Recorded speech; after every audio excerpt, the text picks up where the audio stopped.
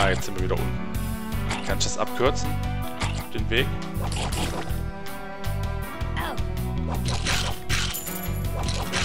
Ja, kann ich.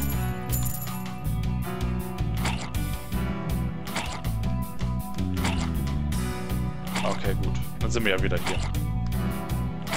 Uah. Und können die zweite Tür durchschreiten.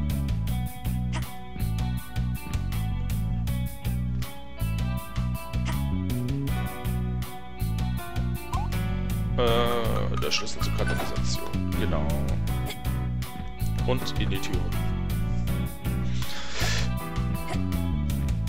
Ah, schon wieder. Es bleibt bei Metroidvania. Jetzt wissen wir... Hä? Ah!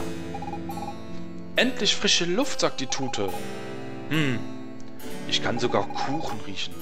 Jetzt, wo ich darüber nachdenke, fällt mir ein, dass ich kaum etwas gegessen habe, seit wir zu diesem Spaziergang aufgebrochen sind. Dieser Duft nach Gebäck lässt mir den Magen knurren.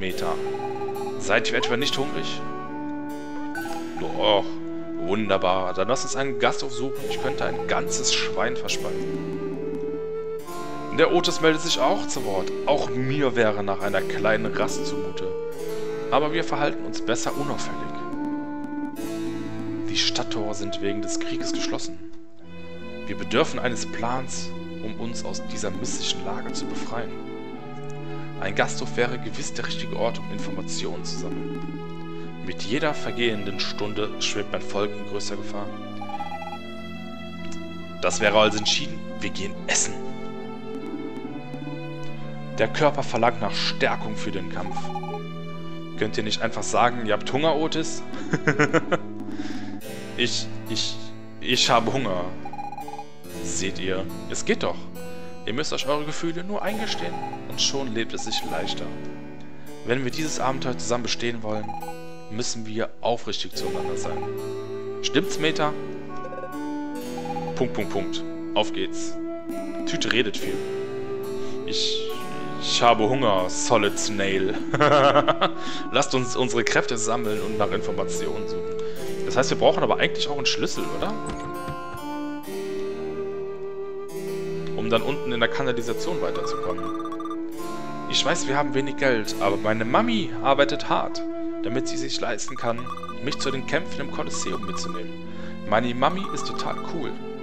Wer ist euer Lieblingskämpfer? Solid Snail natürlich, oder? Also was, was geht über Solid Snail? Ich habe solche Angst vor Otis, dem Exterminator. Manchmal habe ich sogar Albträume von ihm. Aber sag das nicht meiner Mami, ja? Dann würde sie mich nie mehr ins Kolosseum mitnehmen. Oh Gott, ja, Otis ist aber auch gruselig, ne? Das Bart. Ah, mein Kleiner liebt das Kolosseum über alles. Ich wünschte nur, er würde sich mehr für die praktischen Dinge im Leben interessieren. Wie Hausarbeit, Kochen und seinen Lebensunterhalt zum Beispiel. Aber das wird er noch früh genug lernen, wenn er erwachsen ist. Vorerst sollen ihm seine Träume vergönnt bleiben. oh, das verschreckt kleine Kinder. So will ich das hören, sagt er auch noch. Hier, komm mal her.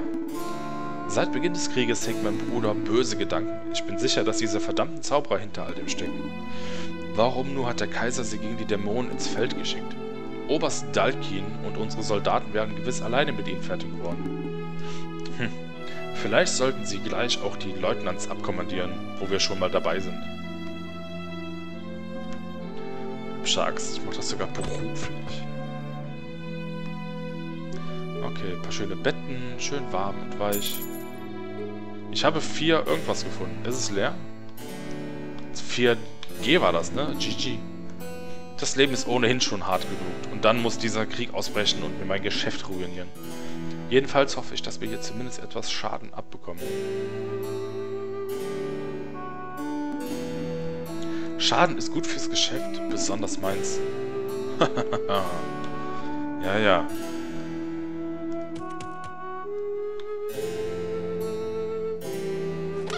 Oh, hier sind Hühner. Lass uns Hühner töten. Ah, schade. Ich dachte, die wären dann hier so aggressiv wie bei Zelda. Eine Blume. Ein Herz. Boah, sind da viele Leute.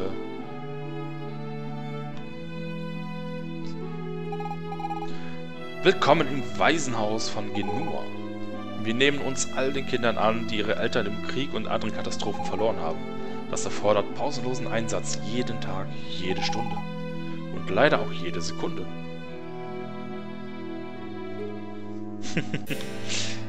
Sollen wir? Der, der Otis wird doch bestimmt sich allen Waisenkindern annehmen, oder? Ich ruhe mich nur kurz aus. Oh, ich hoffe, Sie lassen mich in Ruhe.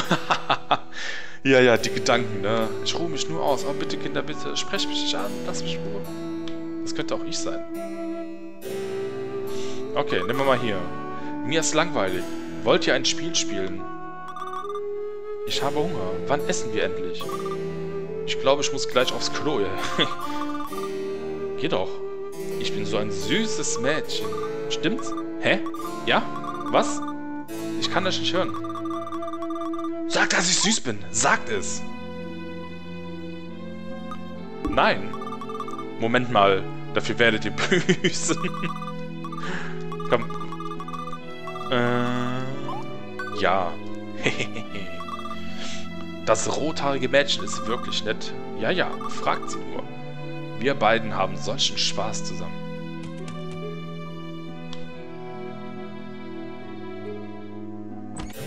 Oh, hier sind wir im Shop. ja, nein, natürlich. Wir plündern die ganzen Läden. Schaut euch das mal an. Und keiner beschwert sich. Willkommen in Rasas Laden. Was möchtet ihr kaufen? Tee, Zucker, Whisky, Waffen. Whisky. Whisky, das macht 15G. Nö. Ich weiß dann auch nicht mal, wofür das ist. Chit-Chat? Was heißt das? Chit-Chat? Keine Ahnung, was das für ein Erfolg sein soll. T, das macht 25G. T macht 25G. Sei kein Dieb. Was, wie teuer ist Zucker? Auch 15. Waffen. Sämtliche Waffen und Rüstungsteile wurden für den Krieg beschlagnahmt. Schaut wieder vorbei, wenn es der Krieg zu Ende ist. Okay, dann gucke ich dann nochmal.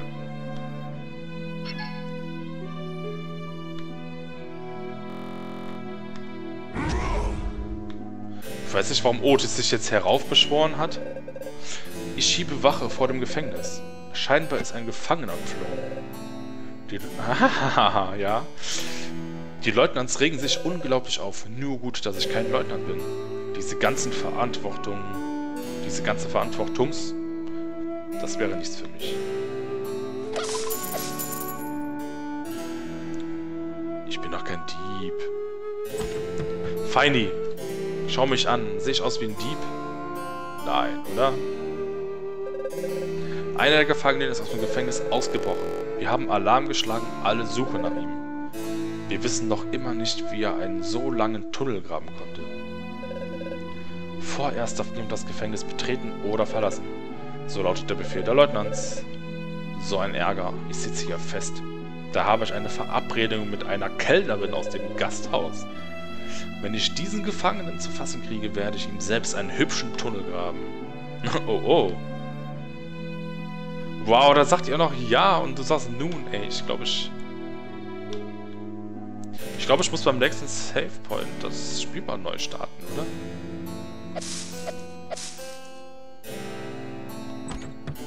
Was ist das? Die Quartiere von denen.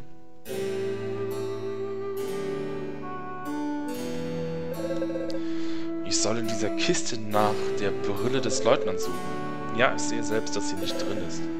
Aber angeblich hat er sie dort liegen gelassen. Befehl ist Befehl. Also suche ich, tja. Hier als Soldat Dienst zu schieben ist eine Art Schnellkurs in Lebenskompetenz. Danach ist man allen Schwachsinn gewappnet, den die ganze Welt zu bieten hat. Oder man verliert den Verstand. oh, ich hab dein Herz gestohlen. Ja, so hast dich aber nochmal gerettet, ne? Dummheit ist wie Geld, hier macht es zu zeigen davon, aber sagt den Leuten, das ist besser nicht im Gesicht.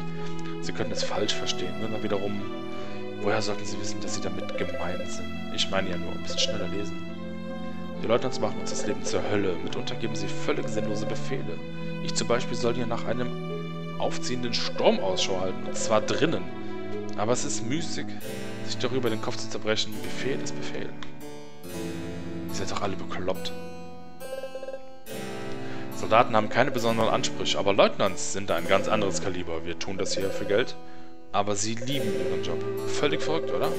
Aber sag das bloß nicht weiter, sonst bekomme ich Probleme der Stufe 99. Oh. In Kriegszeiten ist der Zugang zu den Außenmauern gesperrt. Sogar die Tauben müssen sich anderswo erleichtern. Jedenfalls versuchen die Leutnants ihnen das beizubringen. Dabei können wir ihnen nur viel Glück wünschen.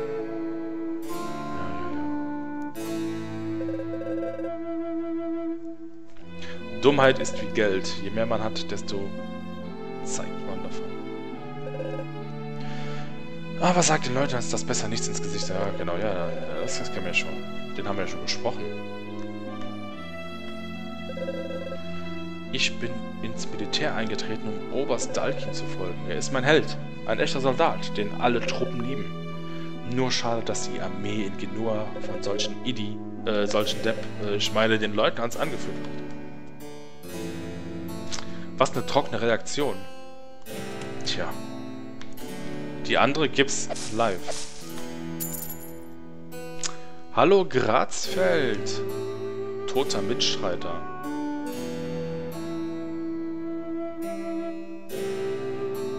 Ich würde sogar durchkommen. Lang lebe das Kaiserreich, lang lebe Kaiser Lothar. Kennt ihr Professor Giro? Ist der größte Erfinder, den das Kaiserreich je gesehen hat. Gerüchten zufolge betreibt er irgendwo in den Bergen ein geheimes Labor.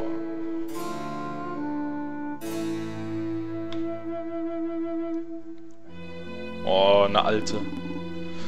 Ich glaube nicht, dass unser geliebter Kaiser wirklich einen Krieg gegen die Dämonen anzetteln wollte. Schließlich stand er auf gutem Fuß mit ihnen.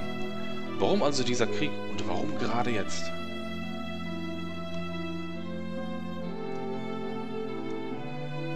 In das Inn gehe ich als letztes, ja. Zauberer. Zauberer. Diese Tür ist verschlossen. Perfekt. Verflixt, die Zauberer haben schon wieder die Bibliothek in Beschlag genommen. Seit sie in der Stadt eingezogen sind, kommt man kaum noch hinein. Ich frage mich, wonach sie suchen, denke ich mal. Jedenfalls kann ich die nächste Folge der Abenteuerserie um die Piraten Robots immer noch nicht lesen. Kratzfeld, wie geht's dir denn? Ist bei dir auch alles gut?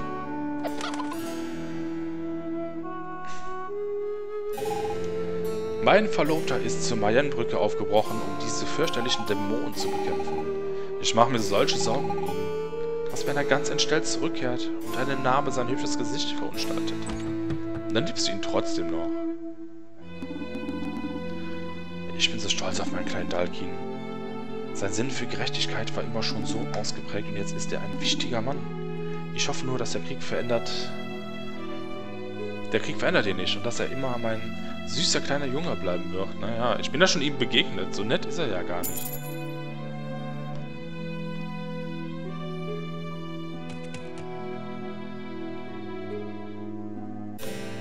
Ein W? Was bedeutet, was könnte das W denn bedeuten?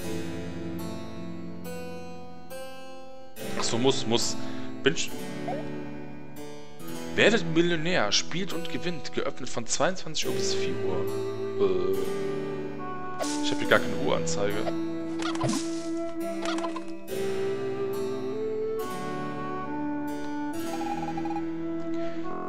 Meine Hühner sind ausgebüxt und streunen jetzt in der ganzen Stadt herum. Was? Ihr wollt mir helfen, sie einzufangen? Ja kommt nicht in Frage. Beim letzten Mal habe ich das so einem grünen, gewandeten Jungspund überlassen, der nichts als Schabernack im Sinn hatte. Das war dann wohl Link, ne? Er hat meine Hühner sogar als Flughilfe missbraucht. So ein Unfug, wirklich. Meine armen Hühner waren wochenlang völlig traumatisiert. Lieber kümmere ich mich selbst darum. Ja, mein Gott.